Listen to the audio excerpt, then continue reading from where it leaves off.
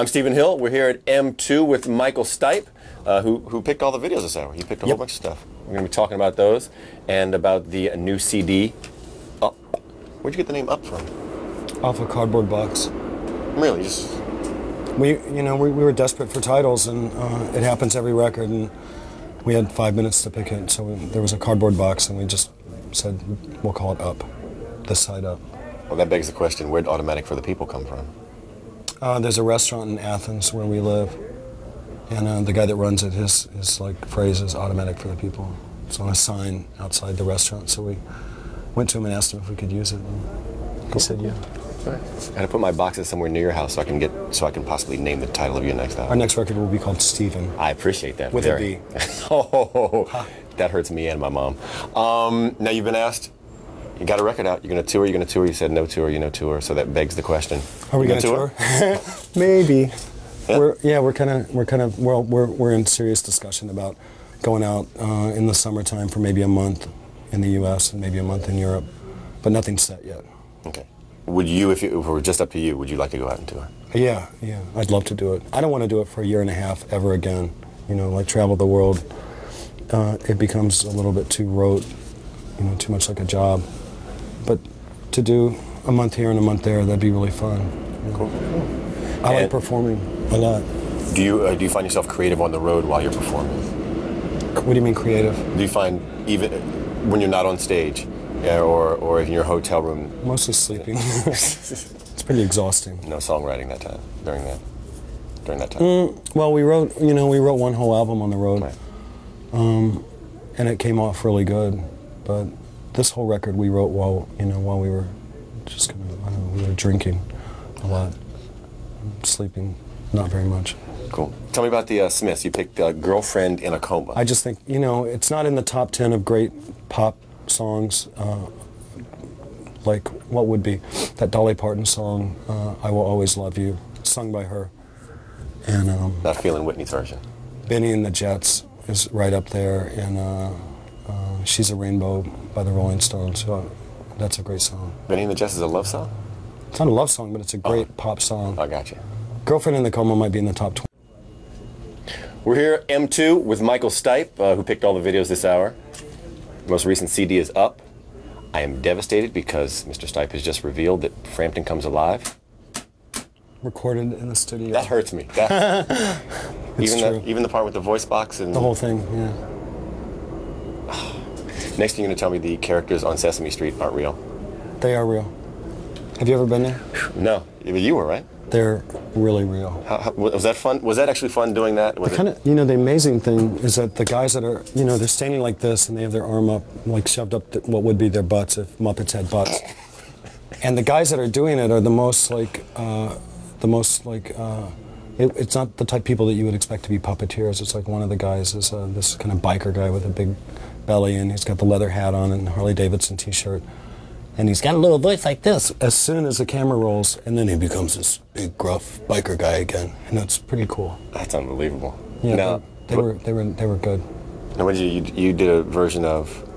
We did uh, we did a kind of a kind of a '90s version of "Shiny Happy People," specifically for um, Sesame Street, called Fur- Lori Furry Happy Furry Monsters, Furry Monsters.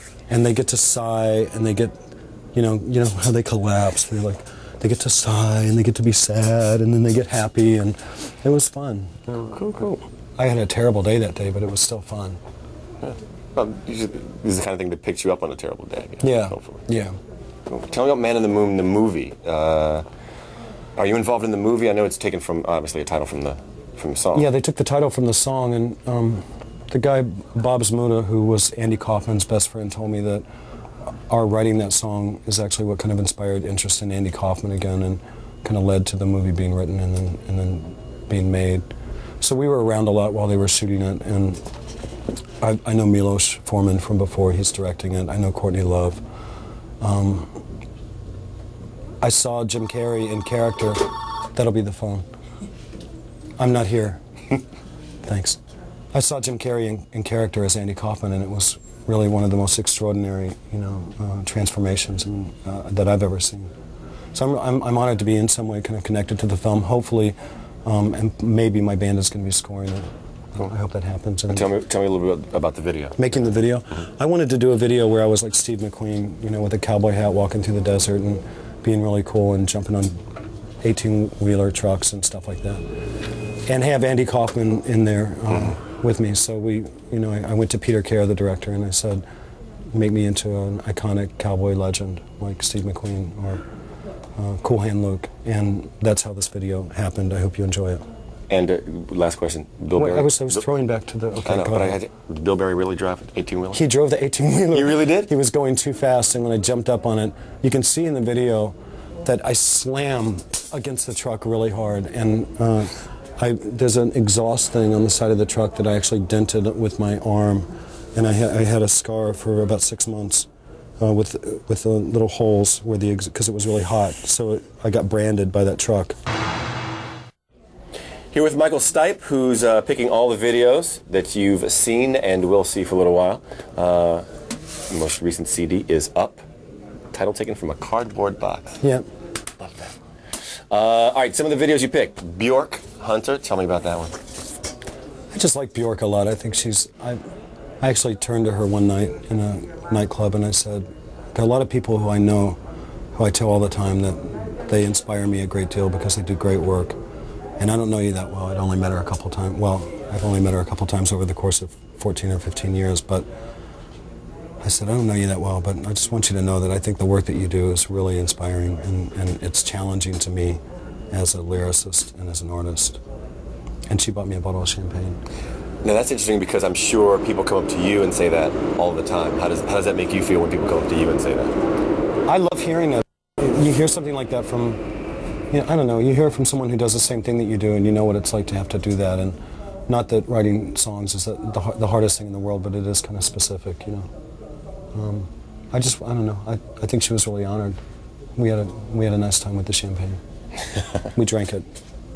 And Placebo Pure Morning you also picked. Placebo, I just I, I got to know those guys um, uh, two summers ago when I was in London shooting Velvet Goldmine, and they're involved in that. And uh, um, I just think they're a really great band. I saw them perform in Rome, I think, uh, last summer, uh, in front of 30,000 people. Mm. They're a great band. Cool. Foxy, Foxy Video.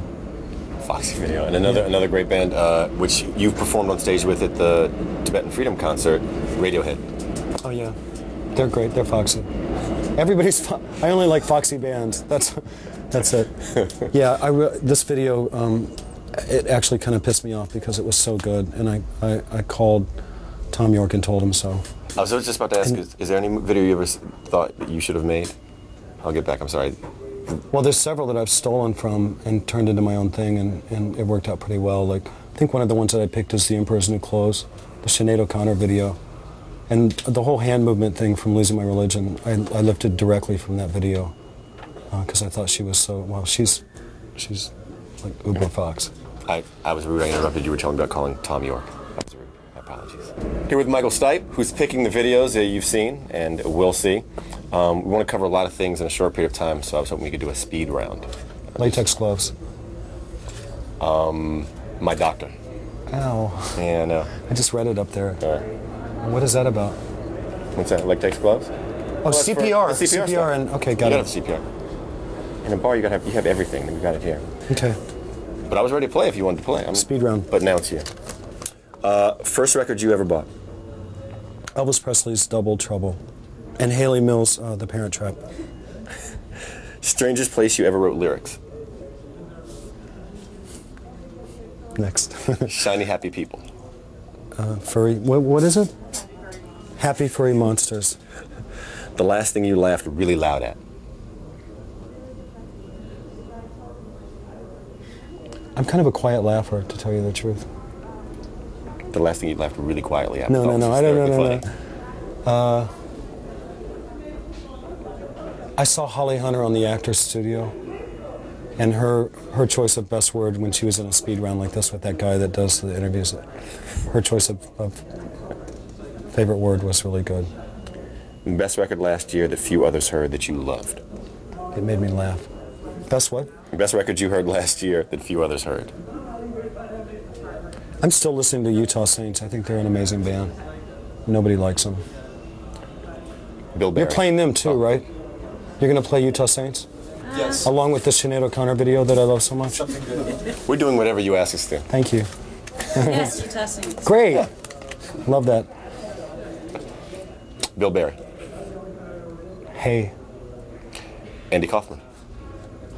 Um, His brother came to the set with the original plastic booger that Andy would keep up his nose when he was talking to business people. and it was in the original bag, and he showed it to me. And I was, I was like kind of horrified, and but I was honored to be included. Now that's something to have. All right, that's the end of the speed round. You have, is that cool? All right, end of the speed round. Did I pass? Yes. Thank you. Flying colors. Uh, let's talk about Lotus, the the new the new uh, single and the new video. Yeah. Stéphane Sednaoui, the director. Great guy. How ch- how'd you choose him? I- I've wanted to work with him since uh, 1991, and we've talked a lot. And uh, this seemed like the perfect. I, you know, the song to me is really hallucinogenic, and the lyrics are kind of swirling. And um, he seemed like the perfect person to, to make a video for this song.